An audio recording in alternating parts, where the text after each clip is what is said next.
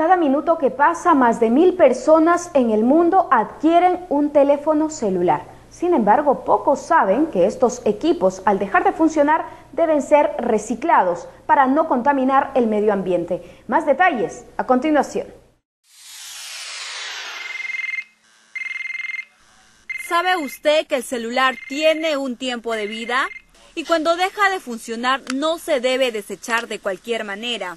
Un celular contiene platino, níquel y metales pesados como el plomo y mercurio, que contaminan el medio ambiente.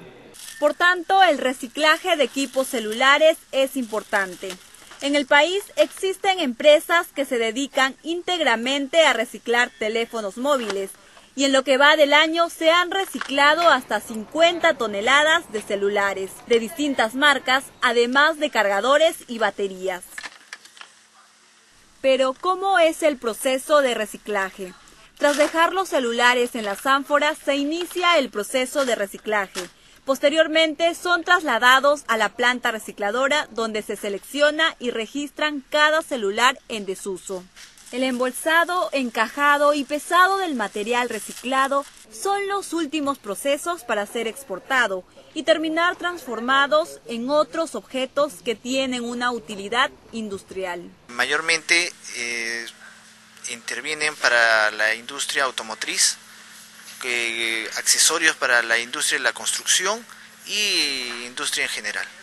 Marco Mendiolaza de la empresa recicladora Anovo estima que al finalizar el año se habrá reciclado al menos 80 toneladas de celulares, cuyas partes son debidamente identificadas.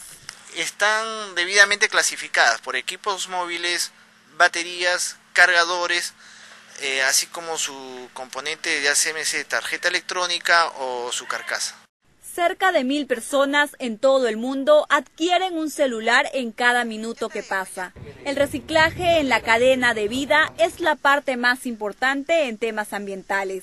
Y la pregunta es, ¿qué vas a hacer con tu celular en desuso?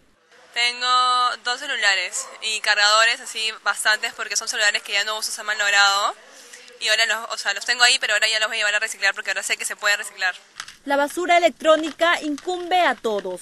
El problema en el Perú es que pocos conocen sobre el reciclaje de celulares. No sabía dónde llevarlo ni a quién dárselo eh, para reciclarlo, ¿no? De repente por eso, así como yo, muchas personas no saben y lo, lo mantienen todavía en desuso o en su casa, ¿no? El desecho de equipos electrónicos requiere de medidas legislativas, educación de los consumidores y cambios en la industria.